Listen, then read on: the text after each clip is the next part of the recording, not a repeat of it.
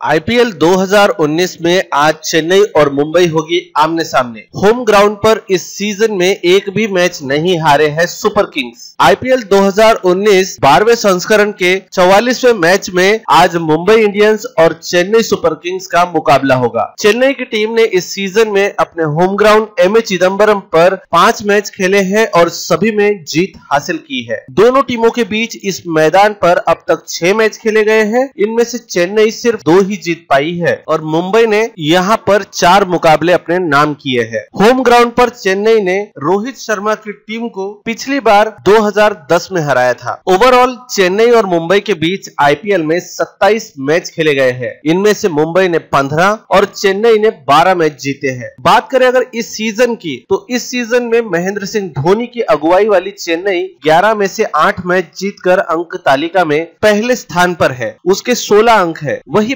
Playoff में अपना स्थान पक्का करने वाली अभी इकलौती टीम बनी है। मुंबई ने 10 में से 6 जीते हैं और वो 12 अंकों के साथ तीसरे पायदान पर मौजूद है। हालिया अगर फॉर्म की बात करें तो दोनों टीमें बराबरी पर दिख रही है। चेन्नई और मुंबई ने अपने पिछले पाँच पाँच मुकाबलों में तीन तीन मुकाबले जीते हैं। हालाँकि चेन्नई ने अपने पिछले मैच में सनराइजर्स हैदराबाद को हराया था, जबकि मुंबई को राजस्थान के खिलाफ हार का सामना करना पड़ा था। इस सीज़न में दोनों टीमें दूसरी बार आमने सामने होगी। मुंबई के होम ग्राउंड वानखेड़े स्टेडियम पर खेले गए पिछले मैच में चेन्नई को हार का सामना करना पड़ा था। तो दोस्तों, आज का मैच कौन सी टीम जीतेगी, आप हमें वीडियो के कमेंट में अपनी राय ज़रूर बताएँ। इस खबर में अभी के लिए बस इतना ही। वीडियो को लाइक करें और अपने दोस्तों के साथ व्हाट्सएप फेसबुक पर शेयर ज़रूर करें। जिन दोस्तों ने अभी तक हमारे चैनल को सब्सक्राइब नहीं किया है, वो हमारे चैनल को सब्सक्राइब कर ले। बेल आइकन को दबाना ना भूले, ताकि आपको मिल सके हमारे हर लेटेस्ट वीडियो का नोटिफिकेशन सबसे पहले। धन्यवाद।